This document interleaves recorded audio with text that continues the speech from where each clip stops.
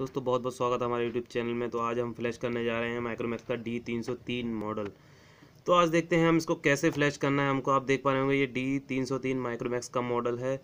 हो सके तो आप जब इसको फ्लैश करें तो आप एक चीज़ का विशेष ध्यान रखें कि इसका जो आई नंबर है, पीछे जो है, ये साफ़ तरीके से लिखा हुआ है या नहीं। तो इस मतलब क्योंकि फ्लैश करते समय ज़्यादा चांसेस में ऐसा होता है कि इसका ई नंबर इनवैलिड हो जाता है। तो ई का वगैरह ई का आई का विशेष ध्यान रखें कि ये जो है ये सही से इस पर लिखा हुआ है या नहीं लिखा हुआ, हम देखते हैं आप इसको फ्लैश करते हैं, हम कैसे फ्लैश करना है। तो सबसे पहले हमें इसको चाहिए फ्लैश करने के जो इसके लिए फ़ाइल चाहिए, हमें फर्मवेयर या जहाँ तक स्टोक रूम ही डाउनलोड करें। तो आप गूगल पे टाइप करेंगे माइक्रोमैक्स डी तीन सौ तीन फर्मवेयर तो फर्मवेयर डॉट कॉम से आप इस फ्लैश फ़ाइल को डाउनलोड कर लें। और इसमें दो फ्लैश फ़ाइल में आपको मिलेंगी, उसके लिए आपको ये ध्यान रखना है कि जो इसका वर्ज़न है, आप ये देख पा रहे हैं, मैं दिखाता हूँ आपको। ये जो सॉफ्टवेयर वर्ज़न लिखा हुआ है, ये हमें यही फ़ाइल डाउनलोड करनी है जब हम सॉफ्टवेयर फ़ाइल डाउनलोड करें तो। तो चलिए, अब देखते हैं हमें इसको कैसे फ्लैश करना है। तो सबसे पहले हमें इसको फाइल्स की जो फर्मवेयर फ़ाइल है, वो एक्सट्रैक्ट करनी पड़ेगी। तो इस तरह की डाउनलोड करने के बाद इस तरह की आएगी। आप इसको एक्सट्रैक्ट एक्सट्रैक्ट करें। इस तरह से यह स्टॉल मैंने कर रखी है।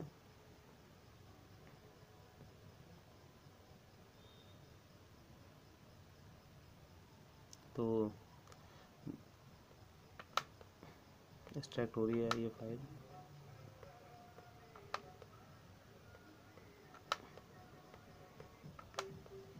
जब भी आप कोई मोबाइल फ्लैश करें, उसके लिए आपको उस, उसके सीपीयू का ड्राइवर होना बहुत ज़रूरी है।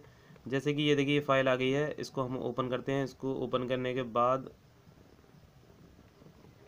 ये देखिए, इसको ओपन करने के बाद अब हमें जाना है एस पी फ्लैश टूल में। ये जो एस पी फ्लैश टूल है, हमें इसे खोलना है। इसको खोलने के बाद हमें ये जो आइकॉन दिख रहा है फ्लैश टूल हमें इस पर क्लिक करना है। फ्लैश फ्लैश टूल पे क्लिक करने के बाद आपको इस तरह का इंटरफेस दिखाई देगा। इंटरफेस दिखाई देने के बाद आपको फॉर्मेट पे जाना है। फॉर्मेट में जाने को ओ टू फॉर्मेट ही सिलेक्ट करना है। ओ टू फॉर्मेट सिलेक्ट करने के बाद आपको स्टार्ट बटन देना है। अच्छा तो सॉरी पहले आपको इसकी स्केटर फ़ाइल इसमें अपलोड करनी पड़ेगी। ओके तो हमें जाना है पहले डाउनलोड में। डाउनलोड में जाने के बाद आपको यहाँ स्केटर लोडिंग में जाना है। ये देखिए, आप देख पा रहे होंगे स्केटर लोडिंग में जाने के बाद। आप यहाँ से इसके ये आपको वहीं पहुँचा देगा कि डायरेक्ट जहाँ पे इसकी स्केटर फ़ाइल होगी।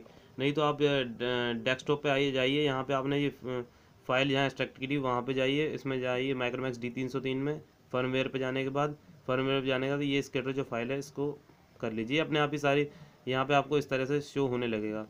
तो अब आपको जाना है फॉर्मेट के अंदर। फॉर्मेट में जाने के बाद, फॉर्मेट में जाने जाएगा आपको ऑटो फॉर्मेट सेलेक्ट ही रहने देना है, उसके बाद आपको स्टार्ट बटन क्लिक करना है। स्टार्ट बटन करने के बाद आपको अपना मोबाइल इससे कनेक्ट करना है। चलो, अभी मैं आपको दिखाता हूँ। तो जैसे ही दोस्तों आप फॉर्मेट के स्टार्ट बटन पर जैसे ही आप क्लिक करेंगे स्टार्ट बटन पर क्लिक करने के बाद आपको अपने मोबाइल के आपको जो है, ये वॉल्यूम अप और वॉल्यूम डाउन दोनों की दबानी है। तो वॉल्यूम अप और डाउन की दबाने के बाद आपको बस अपने यू से इसको कनेक्ट करना है। देखिए कनेक्ट हो गया। कनेक्ट होने के बाद हम दिखाते हैं आपको। ये देखिए फॉर्मेट ओके का ये जो आ गया है फॉर्मेट ओके हो चुका है। तो फॉर्मेट ओके होने के बाद फॉर्मेट ओके आ गया। फॉर्मेट ओके को आप इसको काट दीजिए। अब आपको जाना है डाउनलोड में। डाउनलोड में जाने के बाद डाउनलोड में जाइए आप। डाउनलोड में जाने के बाद आपको किसी भी सेटिंग से कुछ छेड़छाड़ नहीं करनी है। अब आपको डाउनलोड बटन पे क्लिक करना है। डाउनलोड बटन पे क्लिक करने के बाद आपको जिस तरह से अभी आपने हमें जब भी हमने फॉर्मेट करने के लिए वॉल्यूम दोनों वॉल्यूम दबाने के बाद फ़ोन कनेक्ट किया था, उसी तरह से अब हमें फिर दोबारा कनेक्ट करना पड़ेगा। तो जैसे ही हम इस मोबाइल को कनेक्ट करते हैं,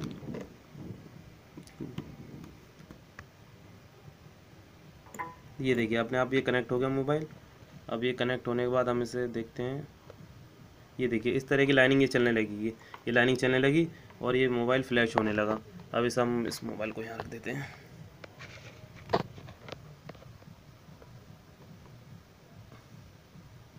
ये देखिए फ्रेंड्स इसमें फ्लैशिंग चलने लगी। ये आप जो येलो लाइन ये दिख रहे हैं, ये फ्लैशिंग की लाइन चल रही है। इसमें आपको आई एम आई का विशेष ध्यान रखना है कि आप उसको उस पर जो पीछे स्लिप है, वो उस पर आई लिखा हुआ है अच्छी तरह, क्योंकि इसकी बहुत ज़रूरत पड़ने वाली है हमें आगे चल के। तो मैं आपको बताऊँगा, देखिए, ये देखिए फ्लैश हो रहा है। अब मैं जब तक फ्लैश होता है, मैं इस वीडियो को पॉज कर लेता हूँ, क्योंकि वीडियो बहुत लंबी हो सकती है इससे।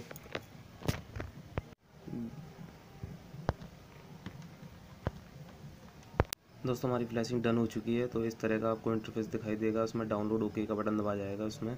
ठीक है, उसके बाद आपको दस पन, दस, पाँच, सात मिनट के लिए आपको मोबाइल बूट होने में थोड़ा टाइम लगेगा, पाँच, सात मिनट लग सकते हैं। बूट होने के बाद आपको इस तरह का इंटरफेस आएगा तो आप उसको नेक्स्ट स्कीप करके आप इसको आगे बढ़ा लीजिए।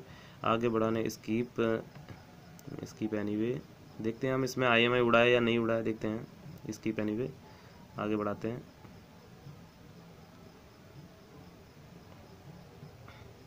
ओके दोस्तों आई एम आई चेक करते हैं हम इसका पहले। स्टार एस ज़ीरो है। दोस्तों, जिस बात का डर था, वही हुआ इनवैलिड हुआ। तो अब हम अब इसमें देखते हैं कि इसमें आई एम आई हम राइट कैसे करेंगे? देखिए इनवैलिड आपको दिख रहा हुआ इसमें इनवैलिड लिखा हुआ। तो चलिए चलते हैं हम, अपने कंप्यूटर स्क्रीन पे। इसको हम आप इसको काट देते हैं यहाँ से, इसको काट देते हैं यहाँ से। तो अब हम तो फ्रेंड्स, हमें इसका आई एम आई राइट करने के लिए हमें सबसे पहले जाना पड़ेगा माइक्रोमैक्स के, जहाँ मेरी फर्मवेयर फ़ाइल थी वहाँ पे। उसको खोलने के बाद हमें जाना है एस एन राइट टूल ये आप देख रहे हैं एस एन राइट टूल इसको दबाने के बाद हमें इसके लोडर पे जाना है। लोडर पे इस तरह का लोडर होगा एस एन ये वाला। हमें इसको क्लिक करना है। क्लिक करने के बाद इस तरह का इंटरफेस आपको देखने को मिलेगा। इस पर ये सिस्टम कन्फिंग पे हमें क्लिक करना है। इस पर क्लिक करने के बाद हमें आई एम आई पे टिक मारना है और कहीं और टिक हो तो उसे हमें अनटिक करना है।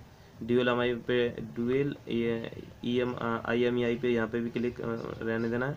इसके बाद हमें ये M D one D P इसको यहाँ क्लिक करना है। इसको क्लिक करने के बाद हमें ये वाली फ़ाइल इसमें क्लिक करनी है बी पी एल ये आप देख पा रहे हैं बी पी एल इसको हमें यहाँ से क्लिक करना है। इसको ओपन कर दिया हमने। और ये जो बीच वाले में, बीच वाले में आप क्लिक नहीं कर पाएँगे तो हमें ये A A P D B वाली, अब जो ए पी डी बी हमें दिख रहा है, वहाँ पे क्लिक करना है। वहाँ पे क्लिक करने के बाद हमें ये ए पी डी बी वाली फाइट फ़ाइल इसमें सेलेक्ट कर देनी है। चलो इसमें सेलेक्ट करने के बाद हमें सेव का बटन दबाना है। सेव का बटन दबाने के बाद हमें स्टार्ट पे लाना है। स्टार्ट पे आने के बाद हमें इस तरह का इंटरफेस आएगा। इसमें I M I number one और I M I number two तो मैंने आपको शुरू में बताया था कि उसमें आ, हमें आई एम आई उसका विशेष तौर पे ध्यान रखना है। उसको आप या किसी कागज़ पे लिख लें या फिर आप नोट पैड के ज़रिए यहाँ पे इसको लिख सकते हैं। मैंने यहाँ पे नोट पैड के ज़रिए लिख लिया है तो अब मैं इसको पहले ही एम को कॉपी करता हूँ। इसको पेस्ट करते हैं। सॉरी कॉपी करना है। इसको आ, पहले वाले एम को कॉपी कर लिया हमने। इसको कॉपी कर लिया। इसको कॉपी करने के बाद हमें से फ़र्स्ट वाले में लिख देना है। इसके बाद सेकंड नंबर हमें इस वाले को कॉपी करना है। और यहाँ पे पेस्ट कर देना है। पेस्ट करने के बाद हमें ओके बटन को क्लिक करना है। और ओके बटन को क्लिक करने के बाद हमें मोबाइल के दोनों वॉल्यूम डाउन और अप आप देख पा रहे हैं। वॉल्यूम डाउन और अप हमें इसको दबाना है। दबाने के बाद जब दबाने के बाद अब हमें इसको कनेक्ट कर देना है। देखिए अब आ जाइए अभी देखते हैं क्या हुआ। इसका मोबाइल कनेक्ट हो चुका है। देखिए मोबाइल ऑन हो चुका है। देखते हैं क्या होता है। ये देखिए एम डी मीडिया इनपुट ये देखिए पास लिखा हुआ क्या? ये पास इसका मतलब इसका आईएमआई हमने राइट कर लिया है। तो हम इस सबको, अब मैं इसको सबको बंद करता हूँ। अब इस मोबाइल को ऑन करके देखते हैं कि वाकई हमारा आईएमआई राइट हो चुका है। इस मोबाइल को ऑन करते हैं हम।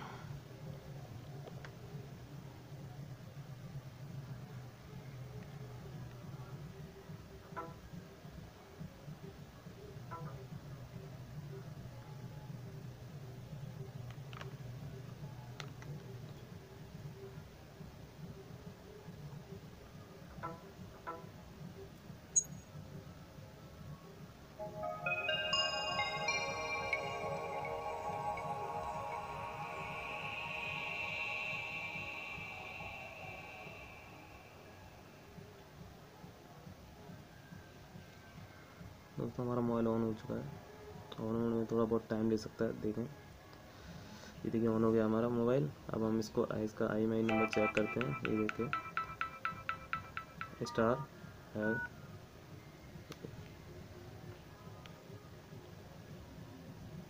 स्टार सॉरी स्टार है ज़ीरो सिक्स है। ये देखिए, हमारा एम राइट हो चुका है। तो दोस्तों आपको ये वीडियो पसंद आई तो इसे लाइक करें शेयर करें सब्सक्राइब कर लें हमारे चैनल को, क्योंकि ऐसी मोबाइल रिलेटेड वीडियो मैं लाता ही रहता हूँ। तो गुड बाय